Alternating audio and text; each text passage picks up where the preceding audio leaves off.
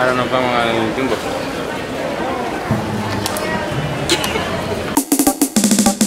Hey guys. Ok, viernes 30 de diciembre. Iba a decir enero, ¿qué onda? Blog de sábado. Esta es una ocasión especial. No pasa siempre. Capítulo 227. Si es que no me equivoco, deja revisar bien.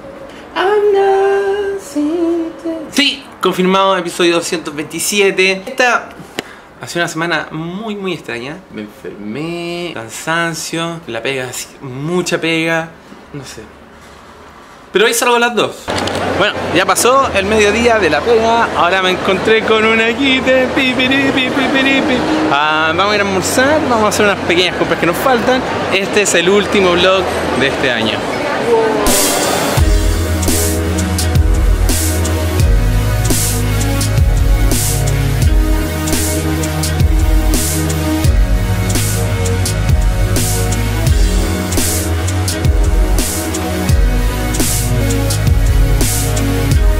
Haciendo un par de compras aquí en el Easy.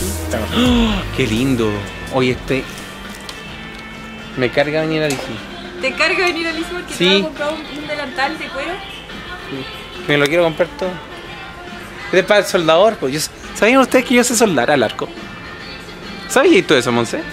Hay muchas cosas que no sé de ti, amor. Ya, después de salir del mall, eh, nos venimos a descansar un ratito con la Monse. Estoy haciendo una pequeña limpieza. Termino con la cocina, voy a seguir con el baño. La Monse se está encargando de la pieza. Ahí va la Monse. Ahí se la dan la Monse. Mi idea de hacer aseo profundo antes del año nuevo viene de, de cuando hacía karate. Así es, amigos míos.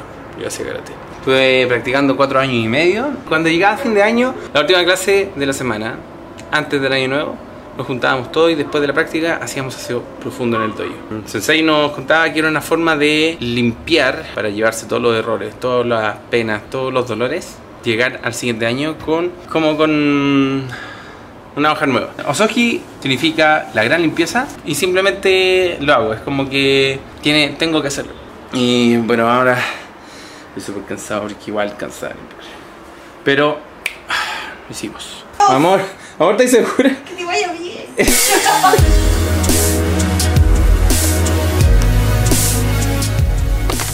Ya. Siento, que los episodios de esta semana fueron muy raros. Y de hecho la semana en sí fue muy rara.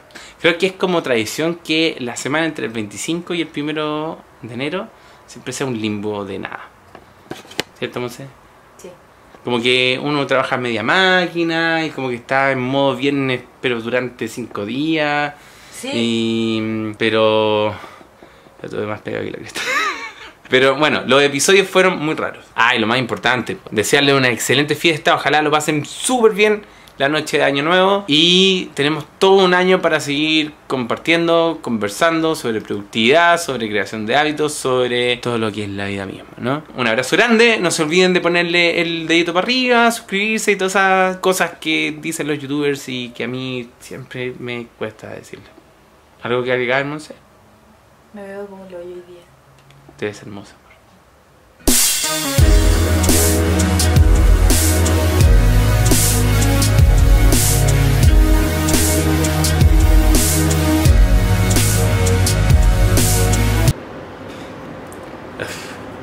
Pelos de gato.